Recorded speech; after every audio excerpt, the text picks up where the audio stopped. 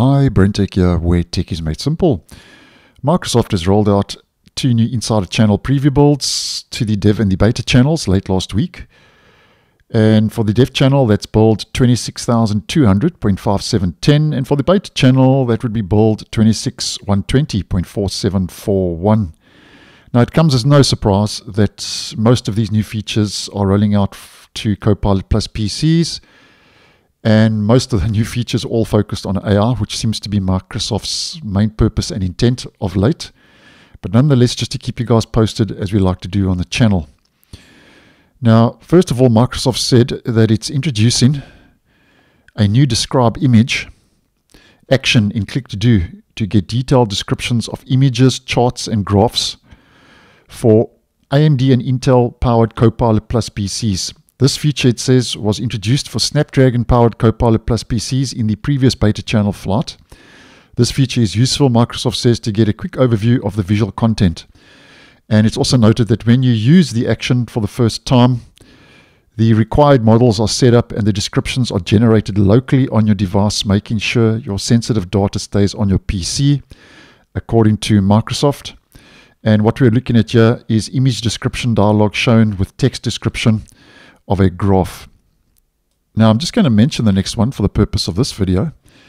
Microsoft says it's enhancing digital accessibility with the ability to get detailed descriptions of images, charts, graphs in Narrator, which is obviously an accessibility feature.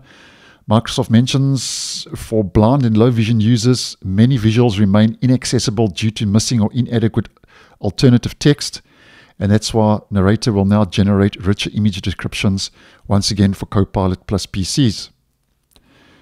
And Microsoft also mentions regarding this feature that the window also contains regenerate like, dislike, and copy button that will be at the bottom of that window. And this next feature I actually posted on earlier today, where Microsoft says that as part of its commitment to improving Windows performance, Logs are now collected when your PC has experienced any slow or sluggish performance. Now, this is all in regards to getting user feedback and improving the performance of our upcoming 25H2, which is currently being tested in the dev channel. But I'll leave that video linked down below and in the end screen. It'll give you a little bit more information if you would be interested. And then Microsoft also says for Click to Do, it's trying out a change that removes the search box in the top bar of Click to Do. And just to mention another one, Microsoft says it's updating the lock screen widgets with widget suggestions to help you easily discover more widgets. This feature can be enabled or disabled, thankfully, um, in the actual settings.